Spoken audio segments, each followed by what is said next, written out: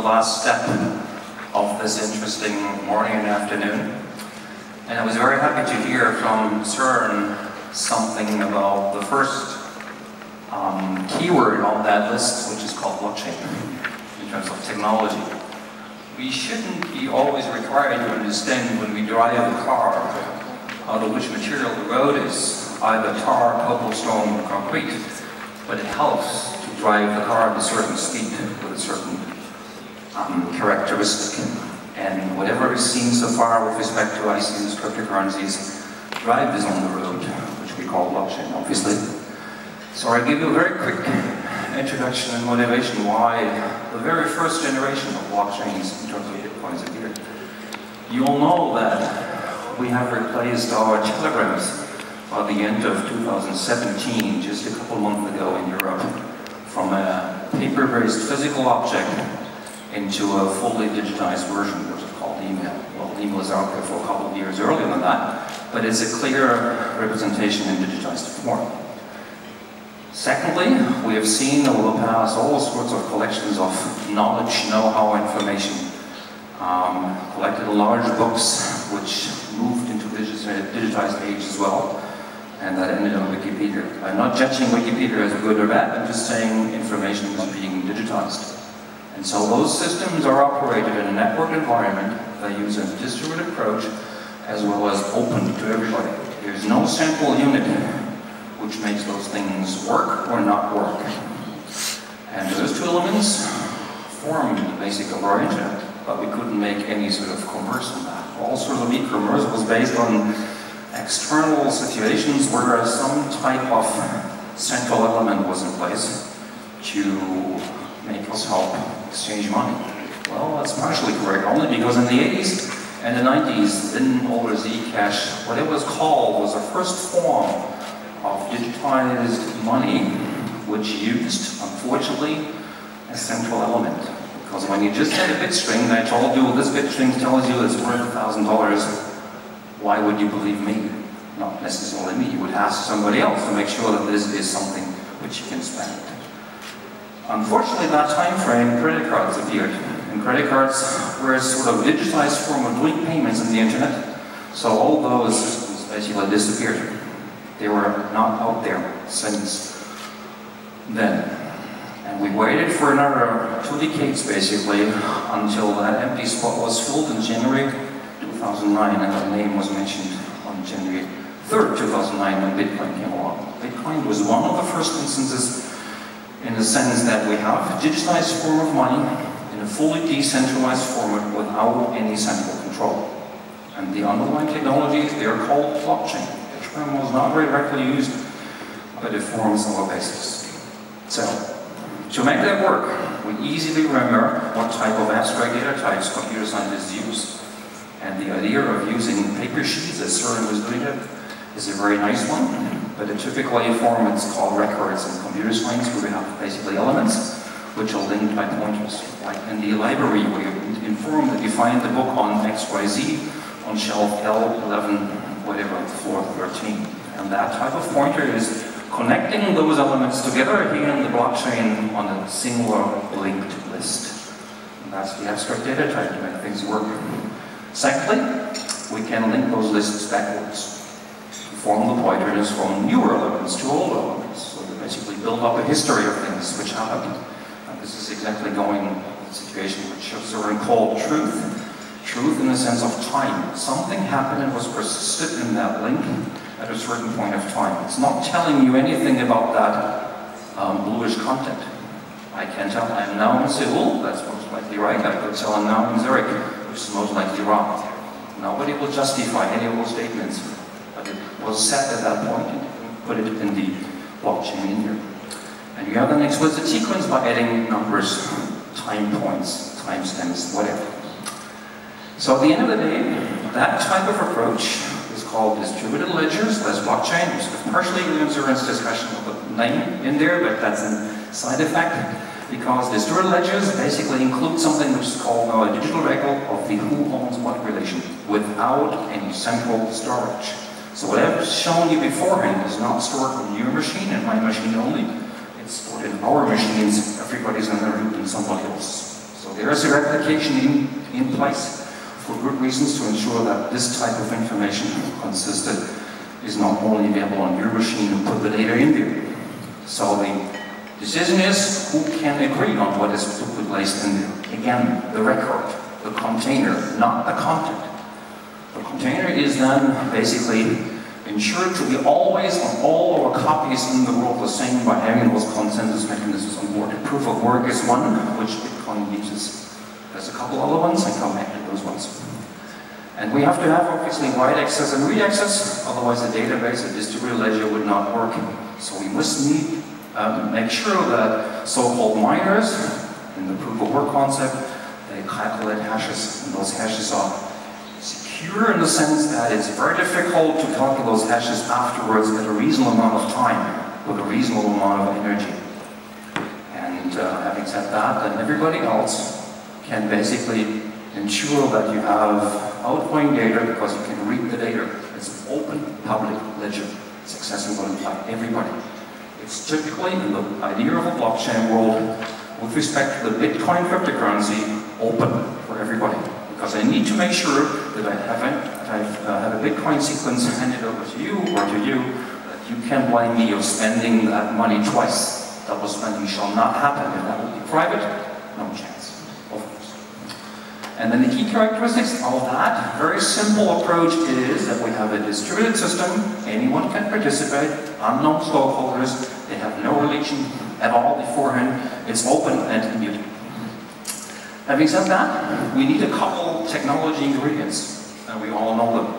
At least we understand to a certain extent that cryptography, uh, cryptography especially public, key cryptography and hashes help. I'm not arguing that they're always perfect, because we have seen cryptographic solutions being broken, like MD5 in the past. SSL had a number of problems. So our technology there is a certain status which makes us believe when we use that, it will work together with other systems tomorrow and the day after. We have to be careful.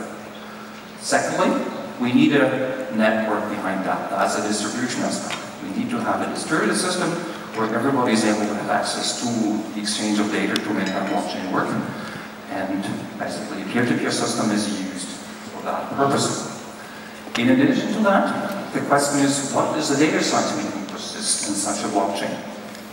The blockchain case for the Bitcoin example, it's basically fund transfer from account A to account B with a value of one Bitcoin. So basically two account lines plus a value for the transaction. That can be done a certain number of times per day, and the volume grows, but the volume grows quicker than the density of our hard drives being produced today. Thirdly, those miners participating in there, ensuring that data is persisted in the blockchain, need to have incentives to help out, because miners are not only doing it in a single instance, there might be a couple dozen miners taking the same block and trying to persist it in. So they have a reward in the Bitcoin blockchain, they get Bitcoins at the end if they have a valid block. I'm not talking about all different other problems of that, but the principle that is the idea. Having said that, there's two types of blockchains around there. Well, one open one, which is the public permissionless blockchain, basically open to everybody, you and me. There's no limits. Everybody can participate. That's the idea of a blockchain invented by Nakamoto, basically. And we have no prior dependency on any trust. And that's why Søren called it a trust machine, because everybody can participate, and we it's doing things over time, and if you look in there, it seems to work very nicely well. So Bitcoin is the grandfather of our blockchains. Ethereum basically is already a father, maybe a child. It's difficult to tell, but there's nothing beyond that. I fully agree there in that position. That is the real and only blockchain to my mind because it's open. The other choice, which people always call blockchain as well, is called private or permission blockchain. It has one very clear difference to the other one. It only allows permissioned, known stakeholders to do the mining job. Would you trust mining procedure of persisting data in blockchain on any people I select for you? Only maybe if you know me. If you have never seen it before, you wouldn't trust a millisecond approach. So that's why this type of private permission blockchain is not a real blockchain. It assumes that there is a trusted set of miners in place. There are good reasons why you may want to have that. If you trust your government, if you trust the grid party, if you trust this and that, there might be good examples. But in general, to my mind, this is not a blockchain. It's just permission way of handling data in a distributed fashion, which not necessarily is required. And there are some sort of hybrid solutions. And then last but not least, if you persisted the data in there, it looked like that the content is very stable and static. No. Even in the Bitcoin case, you already had a very small contract because it did say deduct from account A one Bitcoin and add that to account B if specified.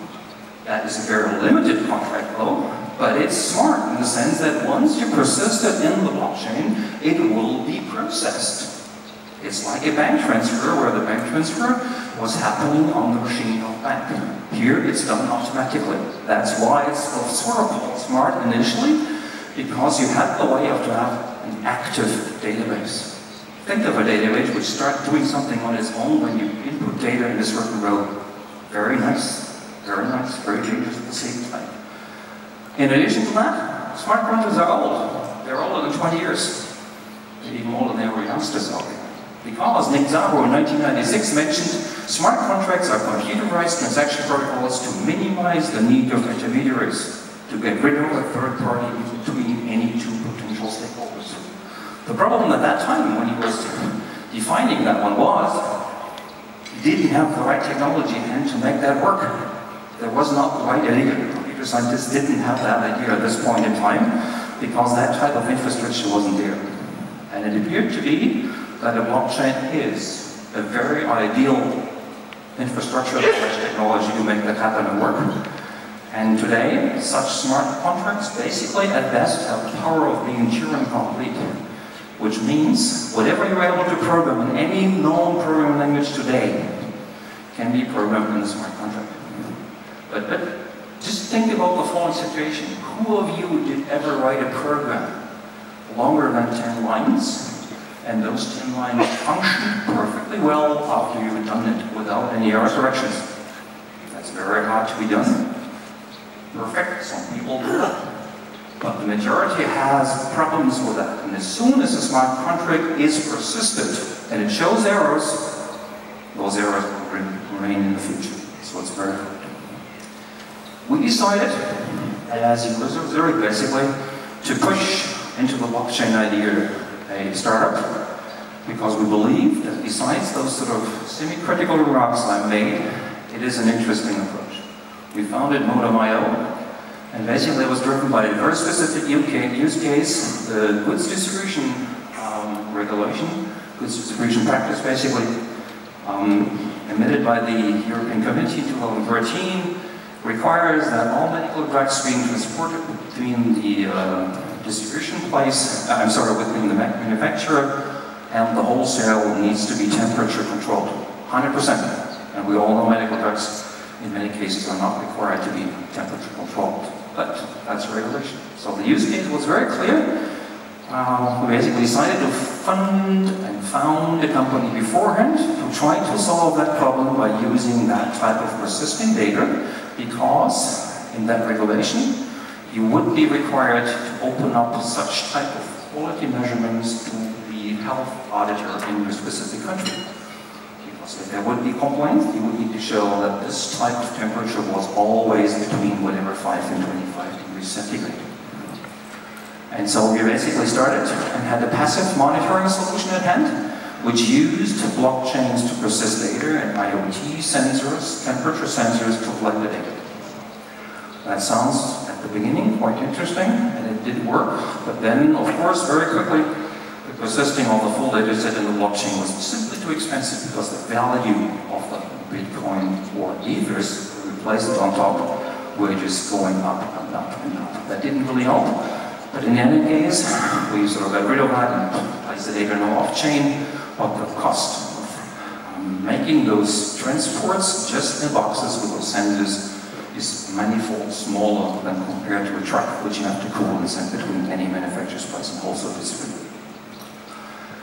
Why did we do that? Well, besides the fact that we're university and research-oriented, research-oriented, we're happy to be in, in Zurich to ensure, based on university as an ETH's profile, we have high quality research as well as education in place. So we have a whole bunch of students in there who are always happy to work on real life projects, especially on projects where new technology comes up around the corner.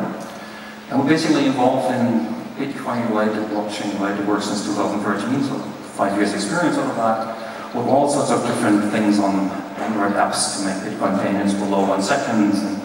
As you see here, a couple, things of food chain project with our federal office for agriculture, for instance, as well as a whole bunch of mitigation measures, etc. Not going to detail here, but trying to continue and saying, well, we were basically able, by using our energy and uh, force of students, to set up the modum's architecture, which then flowed into that SME's foundation procedure, and we had a very, very clear business case.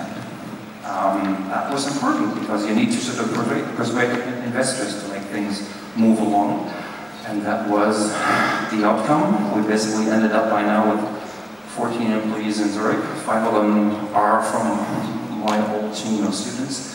Five board members, one is my old postdoc, and four senior advisors as myself. And uh, important was that the blockchain and IoT combination was quite helpful to combine the supply chain requests in that specific situation. And we continue to do a tamper-proof sensor development because as soon as you have non-digital assets, which you need to grab and sensor from real life and generate a bit stream out of that, then the first problem appears. Because who tells you that this sensor is taking 22 degrees of real 22 degrees reason not doing just 15 to on the same side? So we developed a tamper-proof device to ensure that even by fiddling around with that device, you will be able to identify everything. Now content in that blockchain will be persisted and corrected. We were happier to basically get through a couple accelerators, accelerators um, um, programs and we're happy to fund ourselves with initial money, but then went into an ICO in September 2017, just uh, before the regulation of FINMA went in there. But, but we did fully comply, sorry, um, fully comply to the know your customer approach. Um, out of those 13.5 um, million US dollars equivalents of the bitcoins, we only were unable to identify two bitcoins plus minus and all the ends that ended up in Swiss francs on the Swiss bank. Because you need for a company an operational bank account in the Swiss company. In the Swiss bank, obviously, that was important. So that is quite success uh, out of that perspective. But I would like to draw the line now check on the blockchain situations with to challenges and risks. Challenges to our perspective are those elements which need a little bit more thought and brain power to be most likely solved um, successfully. I mentioned this uh, situation of non-digital assets. There are solutions, as I mentioned, with respect to the sensor case, but in general, we have to make sure that this is possible for other examples as well. I always make an example, I mean, if you own a house, if you own an apartment, if you own a property, how do you generate the bit stream out of that knowledge that you can persist in the blockchain without using an external storage of a qualified document like the GPS coordinates we just had beforehand. Because you need to align them and make sure that this is something you belong, that that belongs to you. In Bitcoin, that easy because you have a private key or a public-private key pair, which you can always produce. Here, it is public knowledge, so we have to find solutions. Now, when you talked about the situation about sustainability from the perspective of energy today, blockchains, especially bitcoins, just that single and only blockchain out there in the world uses already the energy demand of Iceland as a, as a country for 2017. And it's projected to use or require the energy of the Netherlands of 2018 and 2018. And it's only a single blockchain. Everybody and each of you would like to generate one more blockchain Who will be able to generate that energy to make that work? Just the question mark. Sustainability is an issue we have to think about, especially in times of sort of more um, sustainable oriented thoughts in the world. Scalability is an issue, which partially was mentioned. We talk about seven transactions per second, roughly, peak time for bitcoins. Other blockchains talk about 600, maybe 1,000. But if you want to replace systems by blockchains today, for instance, credit card payments like Visa or MasterCard on the day before Christmas, they have 20,000 transactions per second to be maintained. We are far off that goal yet. I'm not saying that's impossible, it's really most likely to happen to make it work. Standardized APIs become important because if you decide to use an Ethereum or Ripple or EOS or whatever type of blockchain, if you need to move and don't want to have a lock-in effect, APIs, application programming interface, become very important. And we have seen a number of economic effects already in impacts being mentioned today. Our computer science department is part of the economics faculty of the University of Zurich, so we have lots of economics experts around us. And um, what is the role of an e-currency? Sweden announced the e-krona just a couple months ago. What will happen? One of my colleagues looks at the distribution of bitcoins in the sense of looking at virtual coins, how long do they remain in a single account? How many units and subunits do you need to do your payments? And like, I like to sort of apply that to real currency. How many bills of a certain size, how many coins of a certain size do you need to print and mint to make a society work? Interesting question, although I doubt that the e-currency model would be easily met in the real world, but in principle that's correct. And we've seen a whole bunch of legal regulatory requirements and we have to ensure that our society at the end of the day is accepting the issue because the consensus mechanism at the moment, if it's proof of work, is based on probabilities. Probabilities only. Would you trust your bank account in general that with a 99% probability your monthly salary, salary payment comes in or do you need 100%? Just think about that for a moment. I'm not saying that it's 99% bad, but as soon as your own pocket is sort of touched, we have to make sure that we really believe this is like that. And security privacy, that's what I mentioned, the first ingredient. Whenever things go wrong, they typically go wrong, as Murphy tells us, um, we don't know what the attack vectors will be tomorrow. 51% attacks on blockchains are well known. If 50% of the miners would collude, then it would persist data according to their needs and overruling that truth machine. It's unlikely.